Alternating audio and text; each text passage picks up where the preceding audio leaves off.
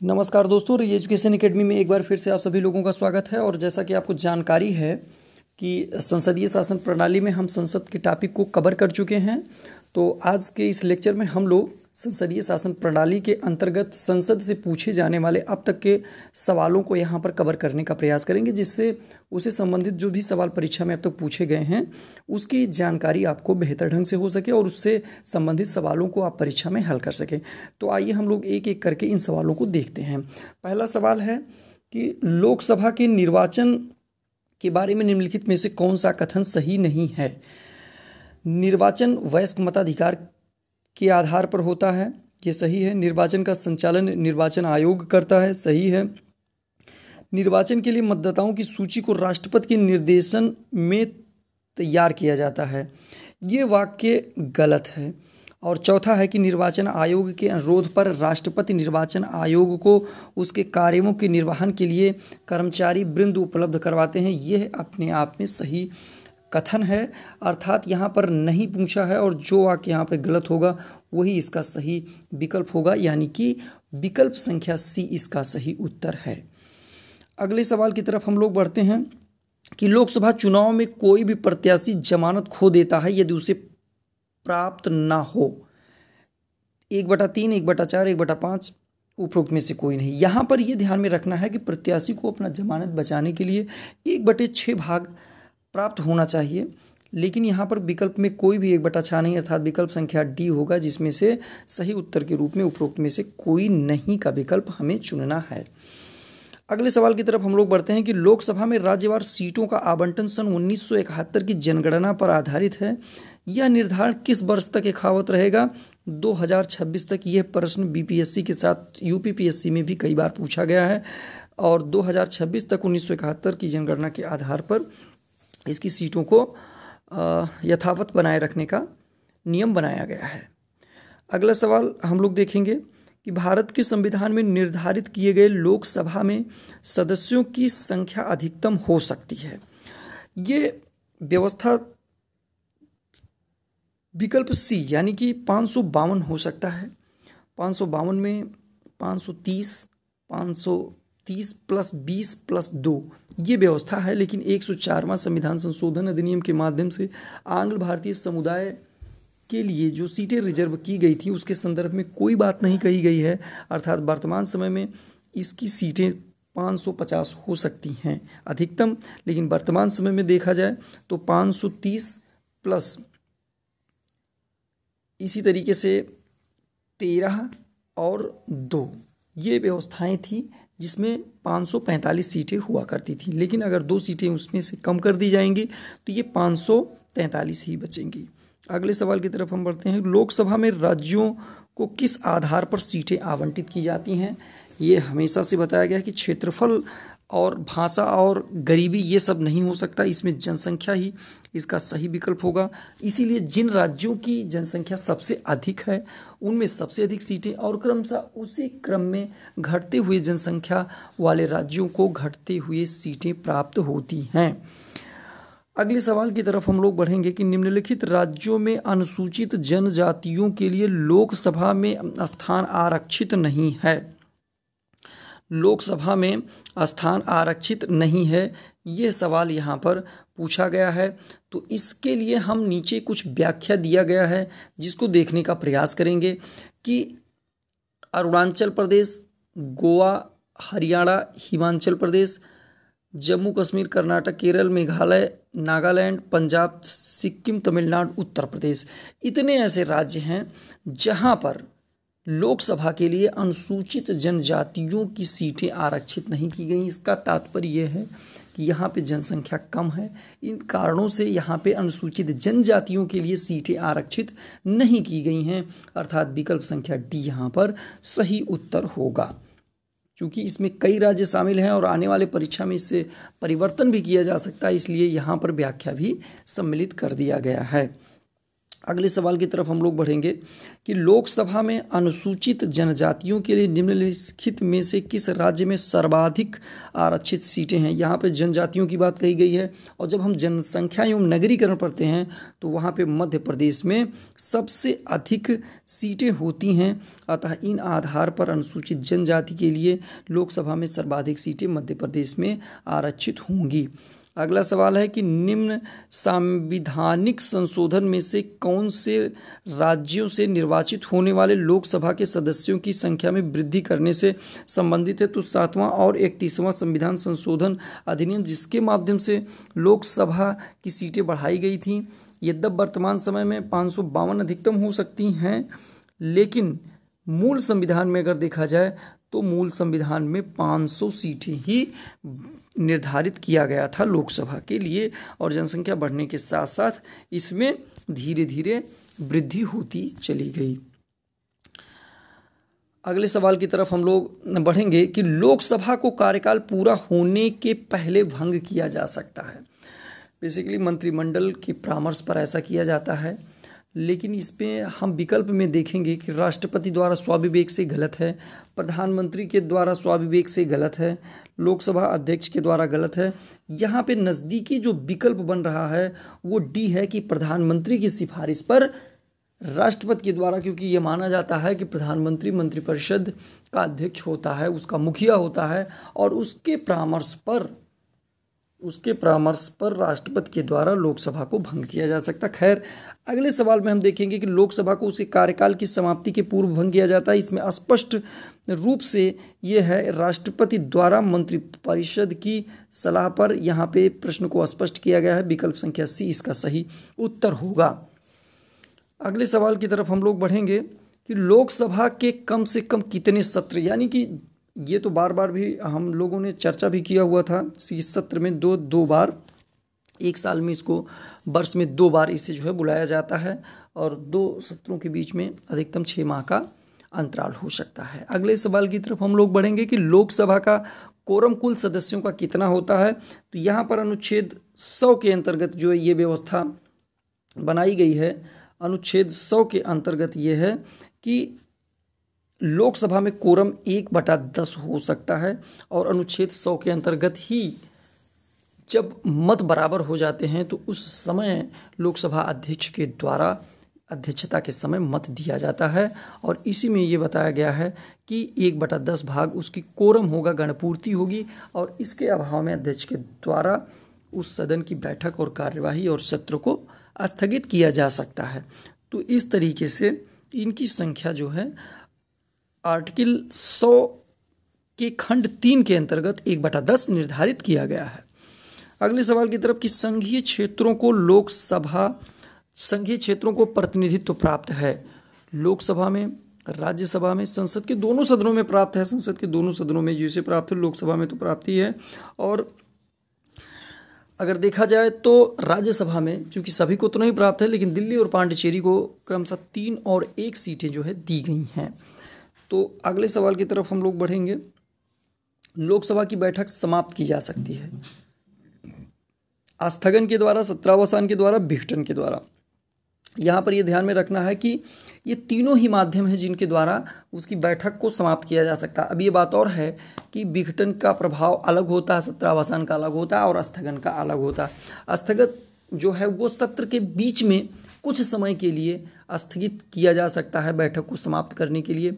सत्रह वसाओं में पूरा सत्र ही समाप्त हो जाता है और पुनः अगली बार सत्र बैठक होता है। लेकिन विघटन के द्वारा पूरी लोकसभा ही जो है, वो भंग हो जाती है। अर्थात ये चारों ही माध्यम विकल्प संख्या डी इसका सही उत्तर होगा। अगले सवाल की तरफ़ हम लोग बढ़ेंगे कि निम्नलिखित में से कौन लोकसभा के सत्र का अवसान करने के लिए प्राधिकृत है? निम्नलिखित में से कौन लोकसभा के सत्र का अवसान करने के लिए प्राधिकृत है? तो इसमें सत्र का अवसान अगर किया जाता है तो यहाँ पर सत्रावसान विघटन और आहूत करना, यानी कि लोकसभा के सत्र को आहूत करना, सत्रावसान करना और विघटन करना, ये राष्ट्रपति का कार्य होता है। जब हम राष्ट्रपति के संसदीय शक्तियों और दायित्वों को पढ़ रहे थे तो उसमें भी हम लोगों ने इसका अध्ययन किया हुआ था कि सदन के सत्र को आहूत करना, सत्रावसान करना और विघटन करना, ये जो है, वो राष्ट्रपति का कार्य होता है। अगला क्वेश्चन है कि लोकसभा का कार्यकाल। लोकसभा का कार्यकाल है, उसके संदर्भ में कुछ वाक्य दिए गए हैं। आई एस 2002 में ये सवाल प्रारंभिक परीक्षा में पूछे गए हैं इसके संदर्भ में किसी भी परिस्थिति में नहीं बढ़ाया जा सकता ये गलत है।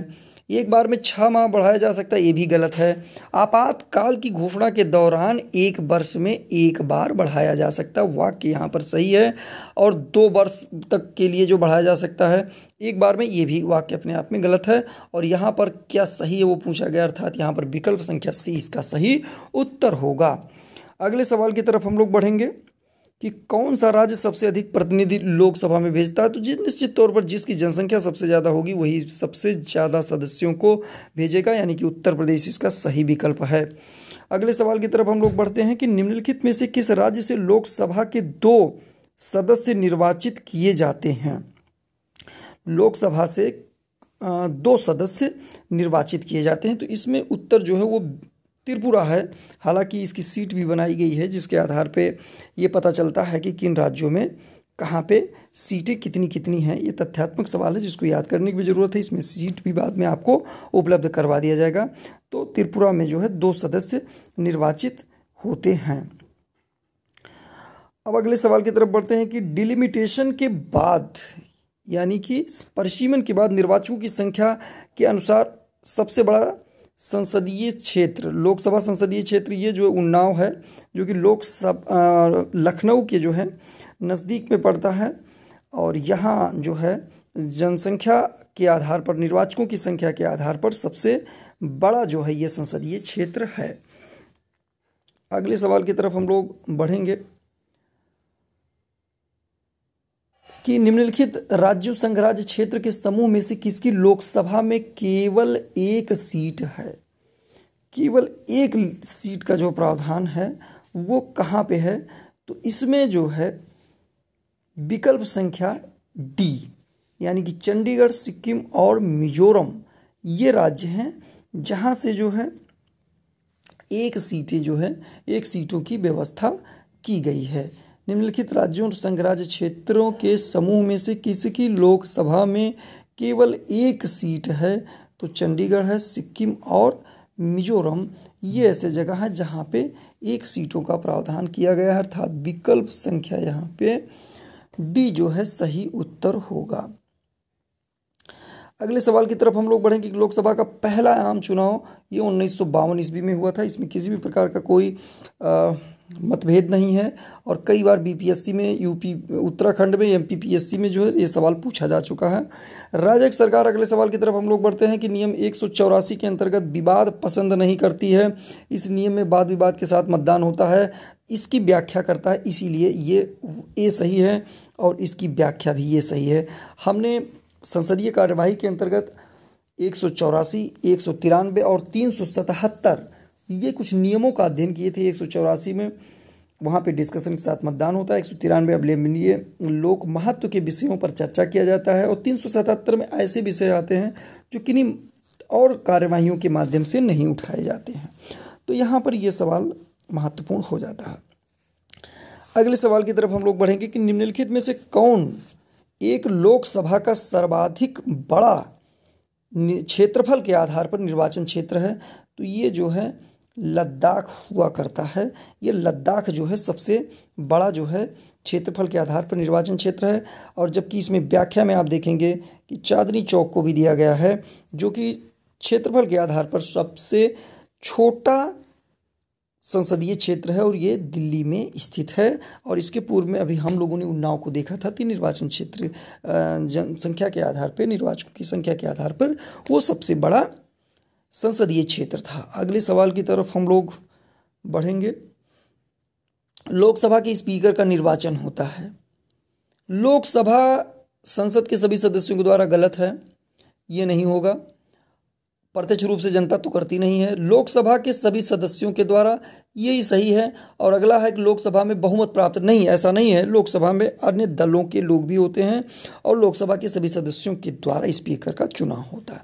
लोकसभा अगले सवाल की तरफ़ हम लोग बढ़ेंगे कि लोकसभा का अध्यक्ष अपना त्यागपत्र किसे सौंपता है? उपाध्यक्ष को इसके संदर्भ में किसी भी प्रकार का कोई मतभेद नहीं है। उपाध्यक्ष को इनके द्वारा इसे सौंप दिया जाता है। लोकसभा के अध्यक्ष को हटाया कैसे जाता है? लोकसभा के उपस्थित सदस्यों की दो तिहाई बहुमत से पारित, लोकसभा के सभी सदस्यों के बहुमत से पारित संकल्प। ये जो है स्पष्ट रूप से इसका प्रावधान किया गया, दो तिहाई बहुमत की बात उसमें नहीं कही गई है। हाँ लोकसभा के सभी सदस्यों के बहुमत से पारित संकल्प, यानी कि उनकी जो संख्या, टोटल संख्या, उसकी बहुमत से पारित होना चाहिए, दो तिहाई बहुमत की बात नहीं है। अर्थात जितने लोग उसमें भाग लेंगे, उसने ज़्यादा ही लोगों को उसमें बहुमत बनाने के लिए होना पड़ेगा। तो इसलिए जो है लोकसभा के सभी सदस्यों के बहुमत से पारित का तात्पर्य है कि जितनी टोटल संख्या है, उसके बहुमत से होना चाहिए।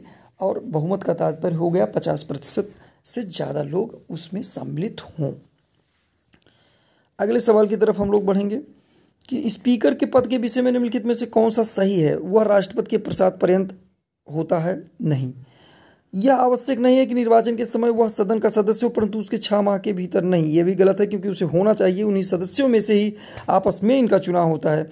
अगला है, यदि सामान्य अवधि से पूर्व सदन को भंग कर दिया जाए तो उसे अपना पद छोड़ना होगा। यह भी गलत है क्योंकि अगले जो है लोकसभा के जो है गठन के प्रथम बैठक तक, वो अपने पद पर बने रहते हैं। प्रथम बैठक में प्रोटेम स्पीकर होते हैं जो सदस्यों को शपथ दिलवाते हैं और शपथ दिलाने के बाद उनका भी पद समाप्त हो जाता है। प्रोटेम स्पीकर की नियुक्ति जो है, वो राष्ट्रपति के द्वारा किया जाता है। अर्थात यहाँ पर ये भी वाक्य गलत है।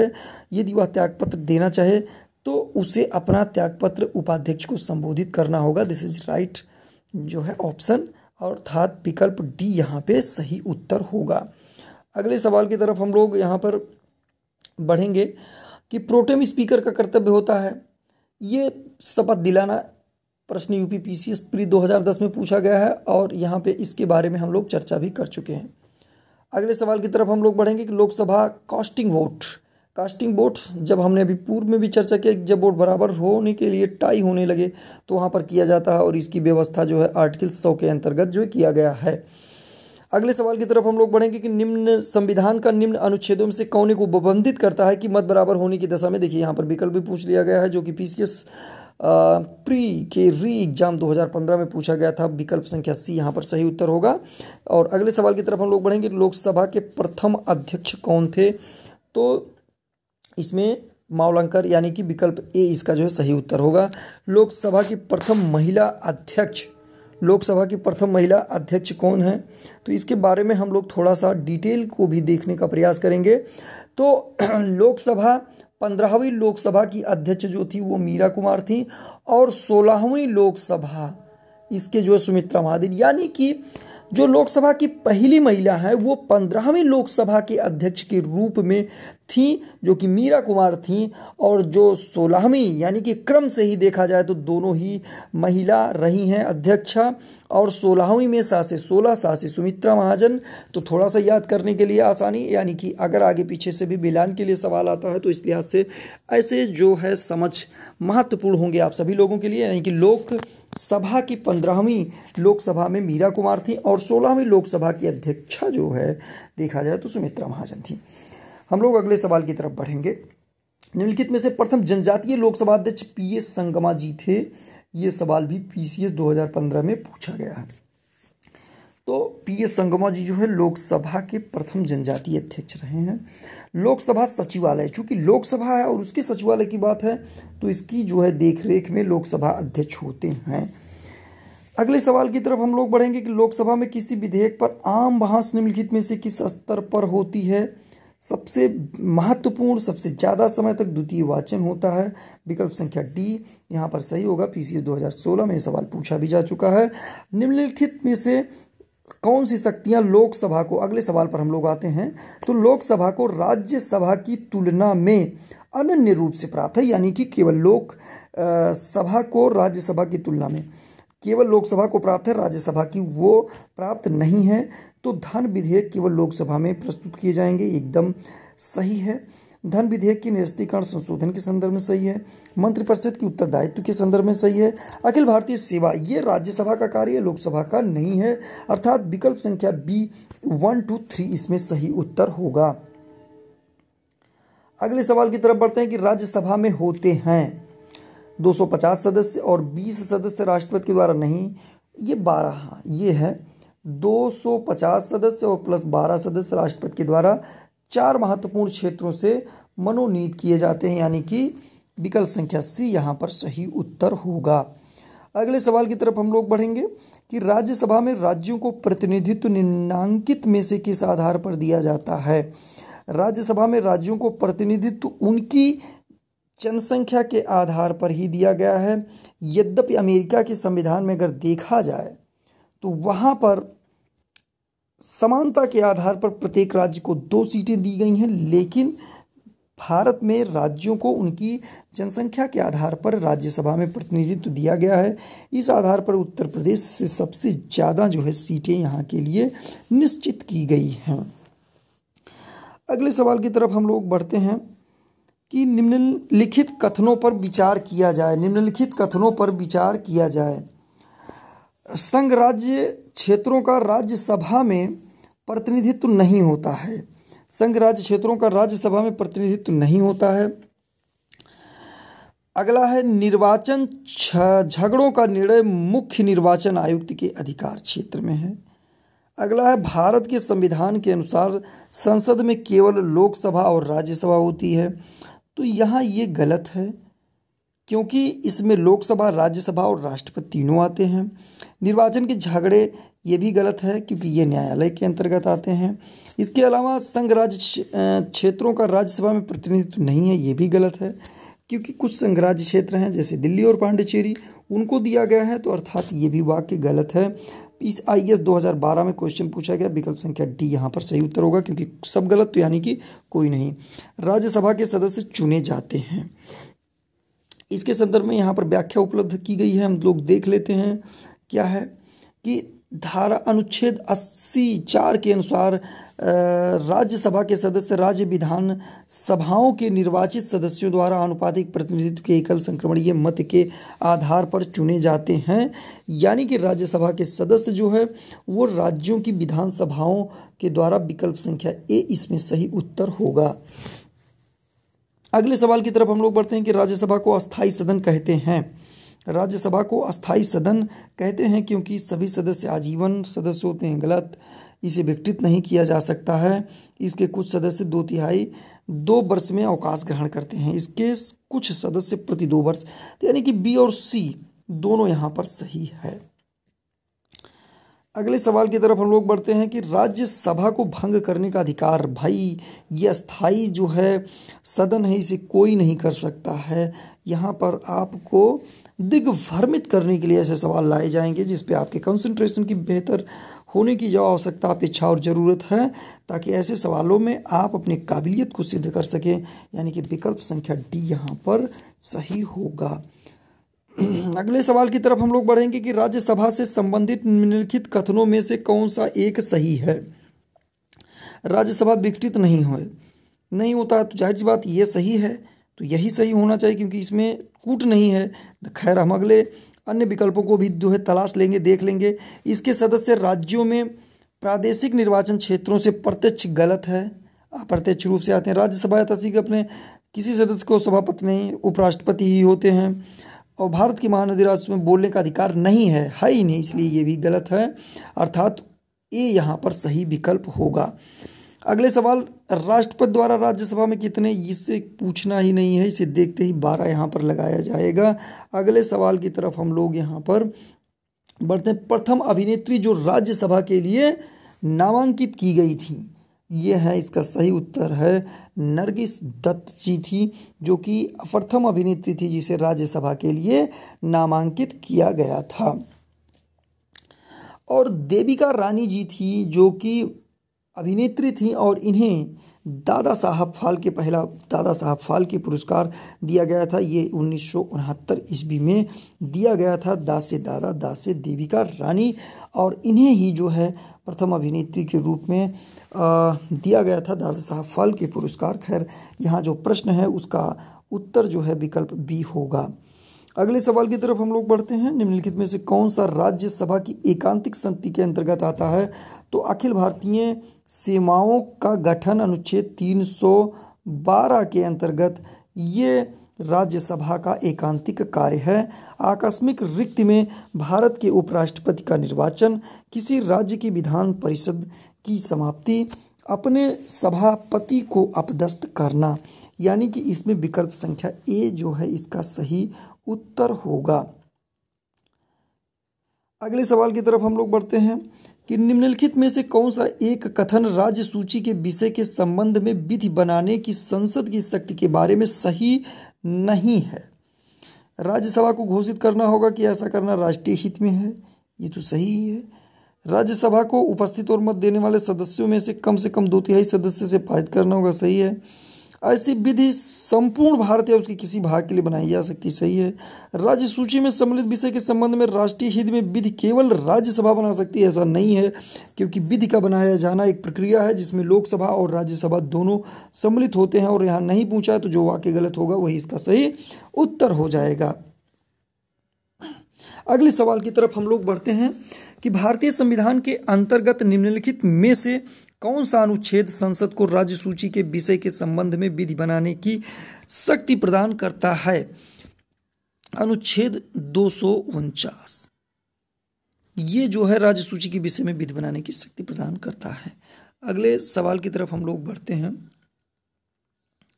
यदि राज्य, यदि सरकार राज्यसभा में पारित हो जाए तो क्या होता है? राज्यसभा से कोई मतलब नहीं है, क्योंकि अनुच्छेद पचहत्तर के खंड तीन में ये बताया गया है कि सरकार जो है, कार्यपालिका जो है, वो लोकसभा के प्रति उत्तरदायी होगी, अर्थात राज्यसभा में अगर कोई विधेयक पारित नहीं होता तो इससे सरकार के ऊपर कोई प्रभाव नहीं पड़ेगा।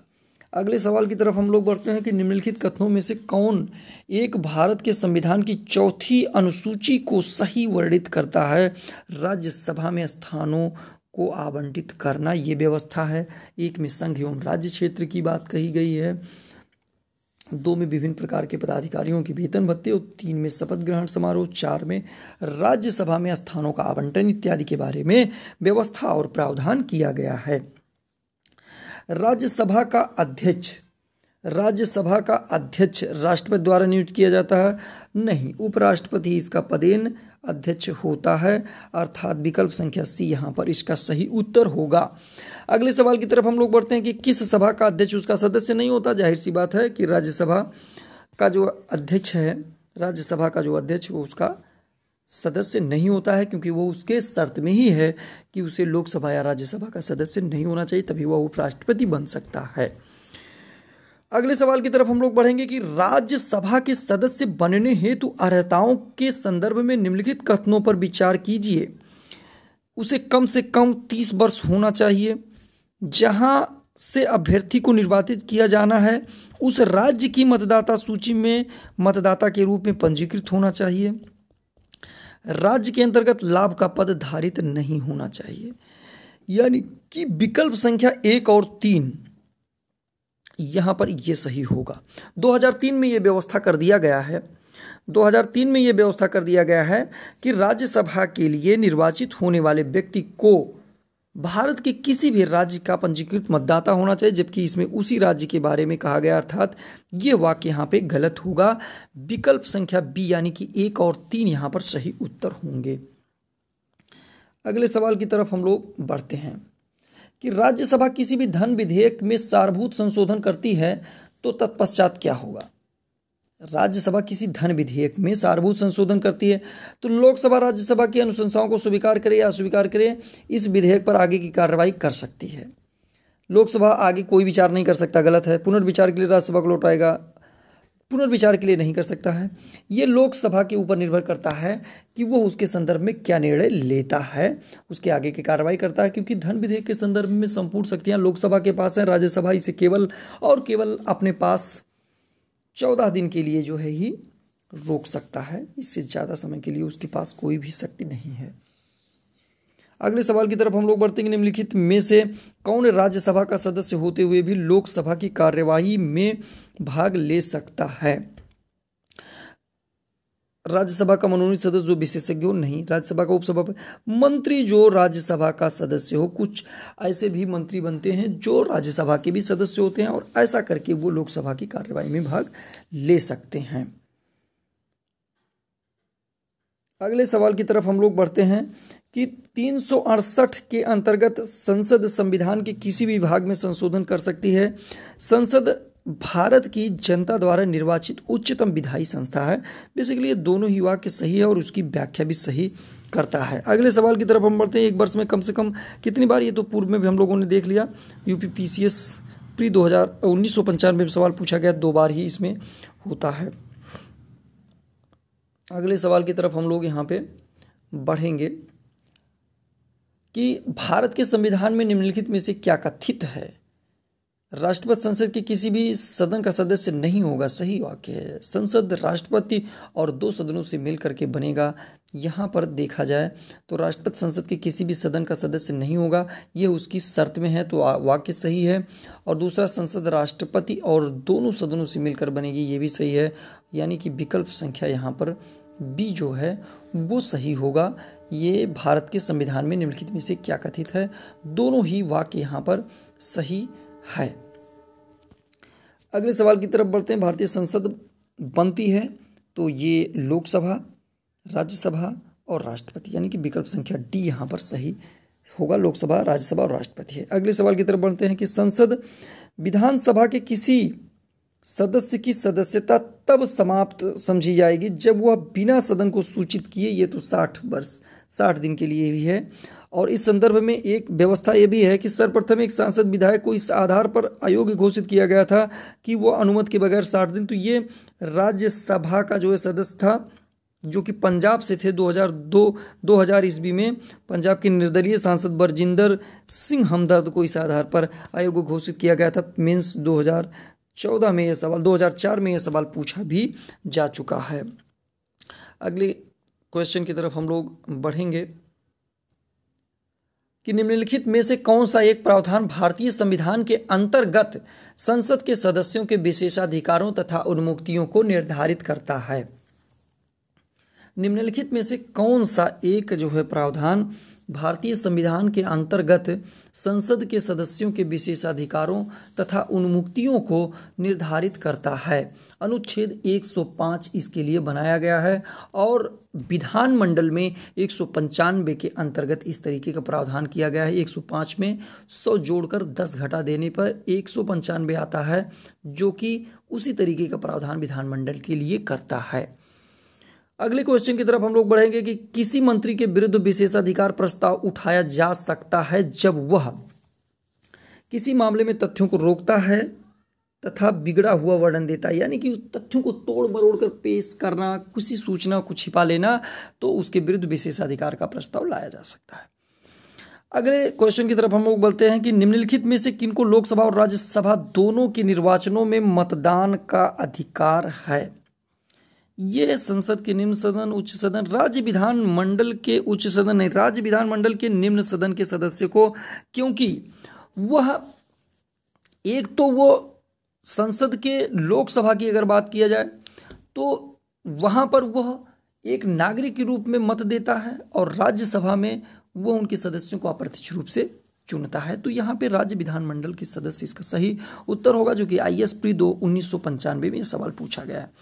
अगले सवाल की तरफ़, भारतीय संघीय संसद राज्य सूची के विषय पर कानून बना सकती है, अंतर्राष्ट्रीय समझौतों को प्रभावी करने हेतु, संबंधित राज्य की सहमति से, राष्ट्रपति शासन राष्ट्रीय हित में जब राज्यसभा दो तिहाई बहुमत से इसे पारित कर दे।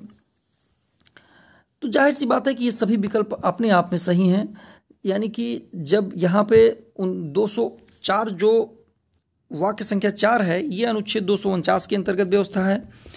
राज्यों की सहमति अनुच्छेद दो सौ बावन के है, अंतर्राष्ट्रीय समझौते अनुच्छेद दो की है और राष्ट्रपति शासन अनुच्छेद तीन सौ छप्पन के अंतर्गत इस प्रकार की व्यवस्था है। विकल्प संख्या डी यहाँ पर सही उत्तर होगा। अगले सवाल की तरफ़ हम लोग बढ़ते हैं। कि अंतर्राष्ट्रीय संधियों को भारत के किसी भाग अथवा संपूर्ण भारत में लागू करने के लिए संसद कोई भी कानून बना सकती है। राज्यों की सहमति से, बिना किसी सहमति से इसमें अंतर्राष्ट्रीय संधि और समझौतों की बात है, इसलिए वहाँ पर ज़रूरत नहीं है, अनुच्छेद दो सौ बावन में है, वो सहमति देते हैं। लेकिन अंतर्राष्ट्रीय समझौतों के लिए ऐसा नहीं, वो बिना सहमति के भी बना सकते हैं। P U P C S pre दो और आई एस प्री दो में यह सवाल पूछा जा चुका है। अगले सवाल की तरफ़ हम लोग बढ़ते हैं कि निम्नलिखित में से कौन सा कथन सही है? राज्यसभा के सभी सदस्यों का निर्वाचन राज्यों की विधानसभाएँ करती हैं। सभी सदस्यों का नहीं, गलत है। राष्ट्रपति भी मनोनीत करते हैं। उपराष्ट्रपति राज्यसभा का पदेन सभापति होता है, अतः राज्यसभा का कोई सदस्य उपराष्ट्रपति चुनाव नहीं लड़ सकते हैं। लोकसभा और राज्यसभा में केवल एक बात का अंतर है कि लोकसभा निर्वाचन कोई प्रत्याशी किसी भी राज्य का चुनाव लड़ सकता है, पर राज्यसभा प्रत्याशी वहाँ वहीं होना चाहिए जहाँ प्रत्याशी बन रहा है। यद्यपि ये वर्तमान समय में वाक्य गलत है।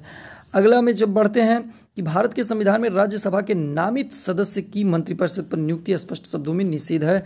यह भी वाक्य गलत है क्योंकि हो सकता है, जब ये सवाल पूछा गया था उन्नीस सौ चौरानवे में तो वहाँ पर राज्यसभा के लिए यह ज़रूरी था कि वह उसी राज्य से होना चाहिए। अर्थात यही जो है, कथन जो है, उत्तर के रूप में यहाँ पे सही था, क्योंकि उन्नीस सौ चौरानवे में पूछा गया था और इस नियम में परिवर्तन जो है, राज्यसभा के लिए उसी राज्य के नियम को हटा करके सभी राज्यों या पूरे देश में किसी भी पंजीकृत मतदाता के रूप में हो सकता है। 2003 में किया गया है, अर्थात उस समय ये वाक्य सही था।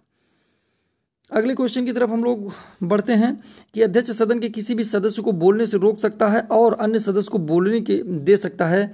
ये कहलाता है बैठ जाना, इल्डिंग द फ्लोर।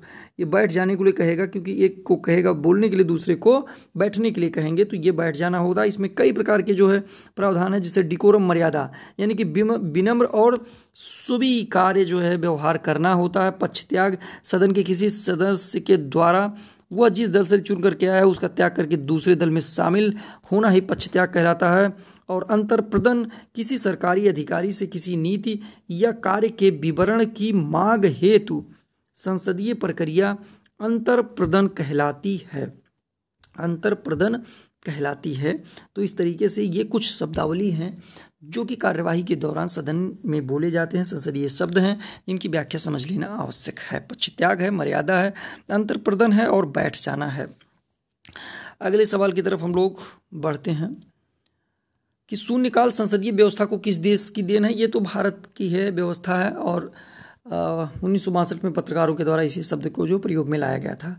अगला शब्द है कि राजनीतिक शब्दावली में शून्यकाल का अर्थ बारह बजे प्रारंभ होता है, मध्यकाल में होता है। यहाँ पे प्रश्नोत्तर जो है, के लिए सम्मिलित किए जाते हैं। जो सवाल प्रश्नकाल में नहीं आते, यहाँ पर आते हैं लोक महत्व के होते हैं। तो इस तरीके से प्रश्न का उत्तर जो विकल्प डी होगा।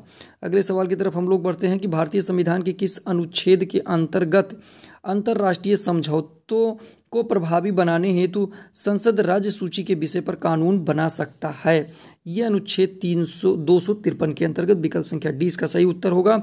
अगले सवाल की तरफ़ हम लोग बढ़ते हैं कि निम्नलिखित में से कौन सा एक कथन सही है? धन विधेयक राज्यसभा में स्थापित किया जाता है।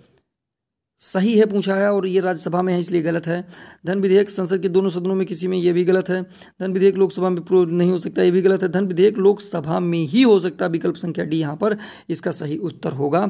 अगले सवाल की तरफ़, जब संसद के दोनों सदनों की संयुक्त बैठक विनिर्दिष्ट रेफर किया जाता है तो इस किससे द्वारा पारित किया जाना होता है?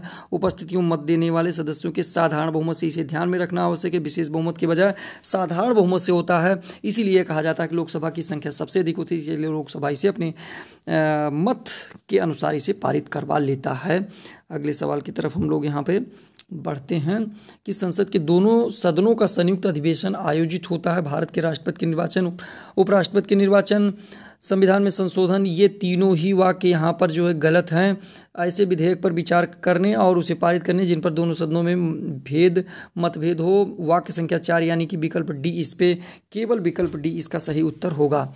अगले सवाल की तरफ़ हम लोग बढ़ेंगे कि भारत में संसद के दोनों सदनों की संयुक्त बैठक अनुच्छेद 108 में स्वीकृत है। सही है। लोकसभा तथा राज्यसभा की प्रथम बैठक भी 1961 में हुई थी ये भी सही है।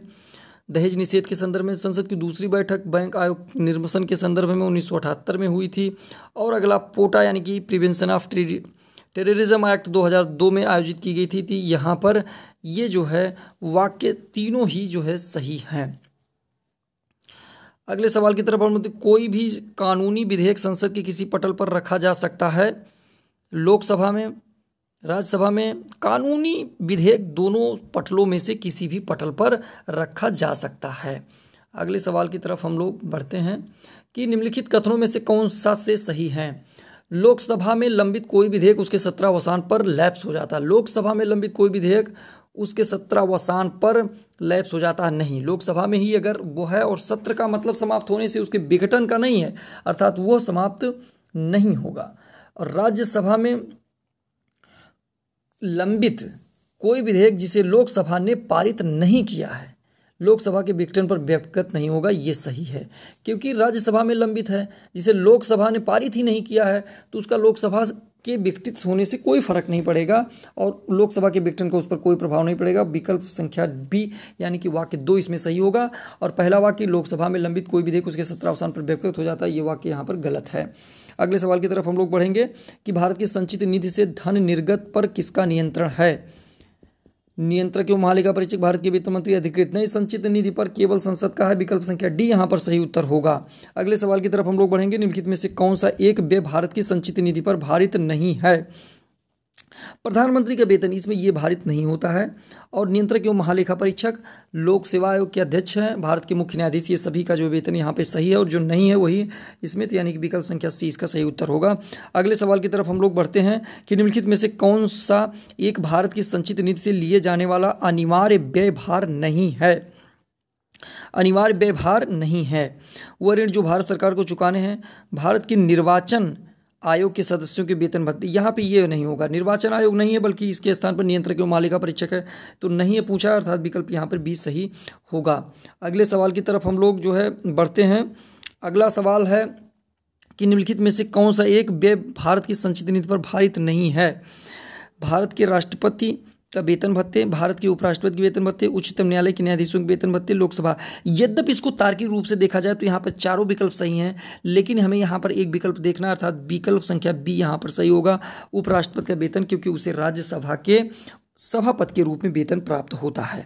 तो आज के लेक्चर में हम लोगों ने संसद के बारे में अब तक पूछे गए सवालों का पहला भाग हल किया, चूँकि यह एक बड़ा टॉपिक है, और स्क्रीन रिकॉर्डिंग के अंतर्गत यह सभी क्वेश्चंस को अपने में शामिल करने में जो है सफल नहीं रहा। ऐसी स्थिति में इसके भाग दो और अंतिम भाग को हम अगले लेक्चर में आप लोगों के लिए ले आएँगे। तब तक आप इन टॉपिक्स के साथ साथ अपने सभी टॉपिक को बेहतर ढंग से पढ़ाई करते रहिए, अपने टारगेट पर फोकस कीजिए। पुनः मिलेंगे, तब तक के लिए नमस्कार।